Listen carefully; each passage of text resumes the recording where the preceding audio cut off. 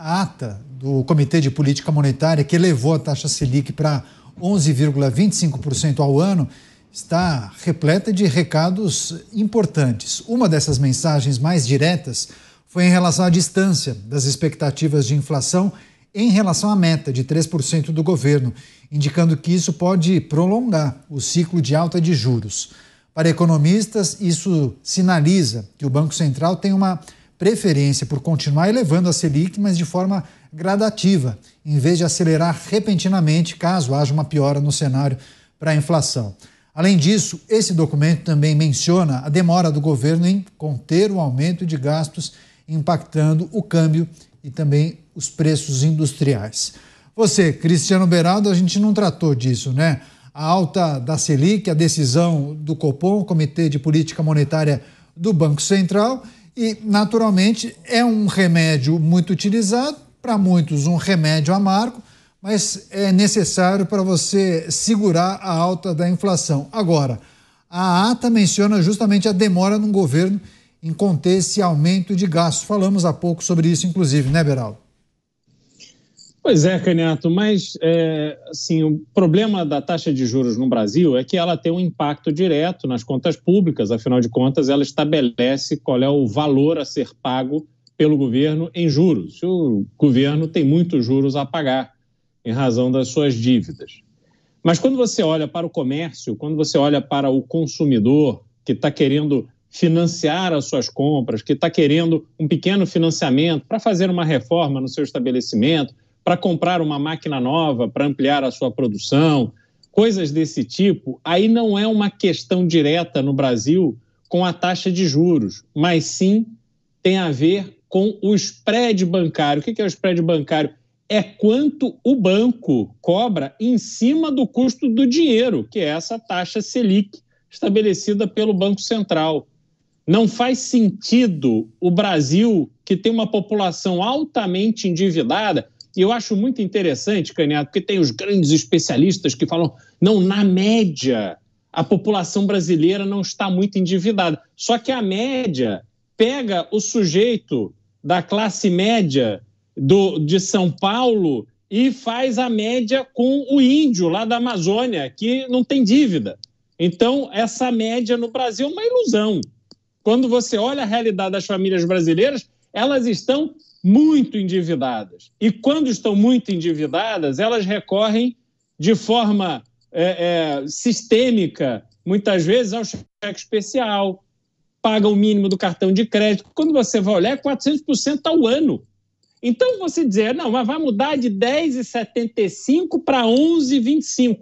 Isso não tem impacto na vida desse consumidor que está morrendo de trabalhar para entregar o seu dinheiro para o banco. E o banco, o banqueiro dando risada, anunciando 10 bilhões de reais de resultado a cada trimestre. É isso que não funciona no Brasil. Se você fizer a mesma comparação nos Estados Unidos, Caniato, você vai ver que a diferença entre a taxa de juros e o custo dos juros no cartão de crédito, que é o crédito mais caro que tem, é coisa ali de quatro, cinco vezes. No Brasil, é 40 vezes. Então, é impossível alguém que entra numa dívida com banco sair dela. Ele vai sendo sugado. O tempo passa, ele vai tentando pagar, ele vai tentando pagar, de repente ele está quebrado.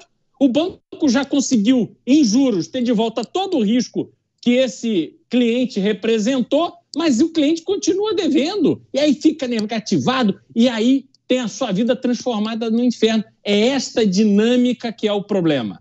Porque se controlarmos esse spread bancário para que a gente tenha níveis razoáveis, desenvolvidos de spread bancário, que os bancos brasileiros passem a correr risco de forma efetiva, como é em qualquer lugar desenvolvido do mundo, e não essa boa vida de juros de 400%. Isso não tem risco nenhum para o banco. Isso é simplesmente transformar o trabalhador num escravo do banco. Isso, isso é que atrapalha o desenvolvimento da economia brasileira. Faltou o Luiz Felipe Dávila trazer a sua reflexão sobre esse, esse atual momento, a reunião em decisão do Copom, Dávila. O que a gente pode esperar? Muitos falam que esse processo de elevação da taxa Selic acaba sendo também um fator que você esfria a economia, né? Muitos optam em deixar o dinheiro no banco rendendo em várias aplicações. Tem esse, essa consequência também, né, Dávila?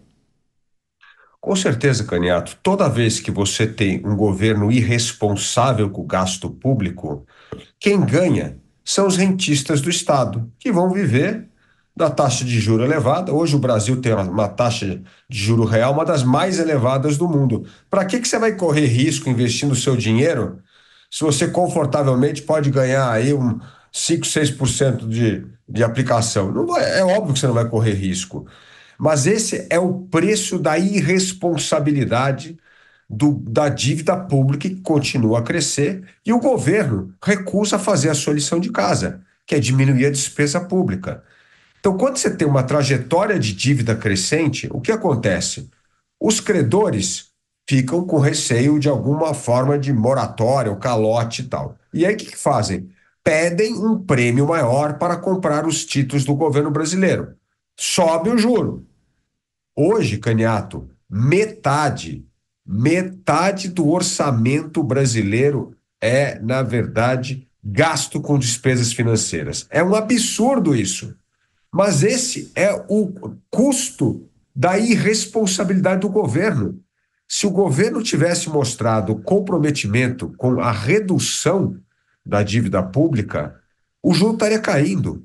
E só para dar um exemplo aqui, no governo Temer, Sim. quando o, governo, o, o presidente Temer criou o teto de gasto, só de ter criado o teto de gasto, disciplinado a intenção de mostrar a queda da dívida, a relação dívida-PIB, já fez o juro cair. E o juro caiu, Caniato, para o patamar mais baixo dos últimos do, das últimas duas décadas. Por que isso? Por causa de responsabilidade fiscal. Sim. O governo não entendeu que responsabilidade fiscal não é uma coisa para ajudar banqueiro. Responsabilidade fiscal é para ajudar as pessoas comuns, o cidadão comum brasileiro porque juro alto afeta a vida de todos nós. Nós hoje estamos nessa Sim. tempestade perfeita. Juro alto e câmbio nas alturas. Isso demonstra um país à deriva. Sim. E isso afeta a inflação. Afeta a vida de todos nós no dia a dia. Por isso que a inflação está muito acima da meta. E o governo fala: não, a inflação está um pouquinho acima da meta. Não está, não.